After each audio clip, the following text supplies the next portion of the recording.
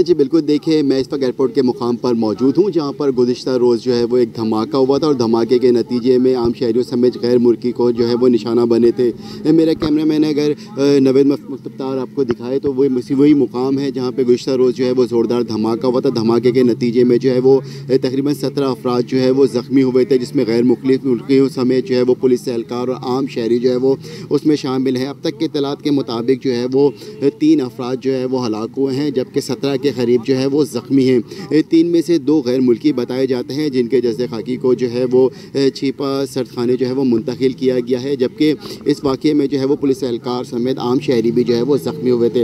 इस वक्त भी जो है वो क्राइम सीन के मुकाम पर जो है वो बम डिस्पोज स्कॉड और क्राइम सीन यूनिट जो है वो मौजूद है जो यहाँ से शवाद जो है वो इकट्ठे कर रहा है। हतमी तौर पर कोई रिपोर्ट अभी सामने नहीं आई, लेकिन शुबा ज़ाहिर किया जा रहा है कि ये धमाका था और धमाका किस नोयत का था, आया जिस तरीके से गुजशत रोज़ डी आई जी गुलाम असफर महसन ने कहा था कि धमाका जो है वो ऑयल की गाड़ी पे हुआ है। अब स्क्वाड इस वक्त यहाँ पर मौजूद है और क्राइम सीन यूनिट भी यहाँ से शवाद जो है वो इकट्ठे कर रहा है। शवाद इकट्ठे करने के बाद जो है वो हतमी रिपोर्ट सामने आएगी कि आया ये धमाका किस नोयत का और